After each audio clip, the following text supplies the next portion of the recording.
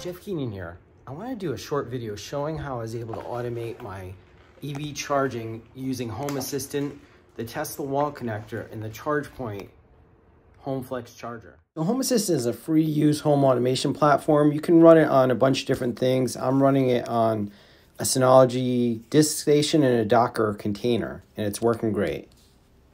So there's device drivers for both the Tesla Wall Connector V3 and the ChargePoint Home Flex. Pretty easy to add them, and then it's going to give you all the information you need to record how much energy that they're using every day. So once they're in there, you can add them to what's called the energy dashboard. You could use this for other devices in your home too, and it will show you daily, weekly, monthly how much power that the EV chargers are using, and you can also put your cost in there per kilowatt hour, and it'll calculate that.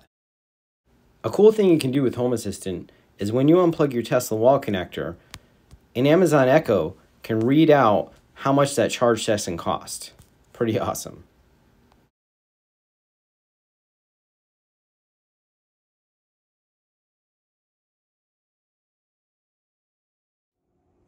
Tesla wall connector done charging total cost is $12.62. Thank you. There you go. Remember to like and subscribe for more videos on EVs, Wi-Fi, and tech products you